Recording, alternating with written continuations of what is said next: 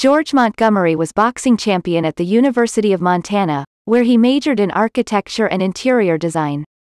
Dropping out a year later, he decided to take up boxing more seriously, and moved to California, where he was coached by ex-heavyweight world champion James J. Jeffries. While in Hollywood, he came to the attention of the studios, not least, because he was an expert writer, and was hired as a stuntman in 1935. After doing this for four years, George was offered a contract at 20th Century Fox in 1939, but found himself largely confined to leads in B-westerns. He did not secure a part in anything even remotely like a prestige picture, until his co-starring role in Roxie Hart, 1942, opposite Ginger Rogers.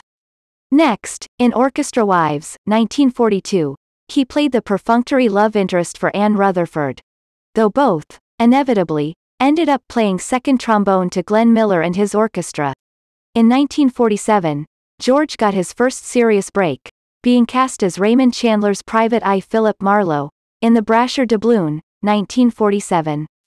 Reviewers, however, compared his performance unfavorably with that of Humphrey Bogart and found the film, pallid, overall.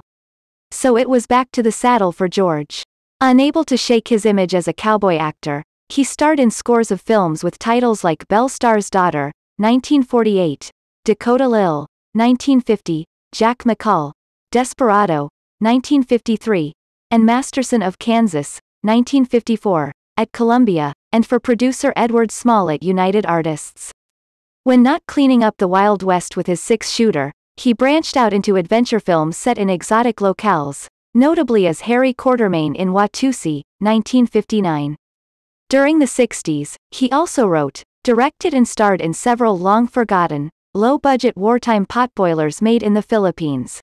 At the height of his popularity, George attracted as much publicity for his acting, as for his liaisons with glamorous stars, like Ginger Rogers, Hedy Lamarr, to whom he was briefly engaged, and singer Dinah Shore, whom he married in 1943. After his retirement from the film business, he devoted himself to his love of painting, furniture making and sculpting bronze busts, including one of his close friend Ronald Reagan.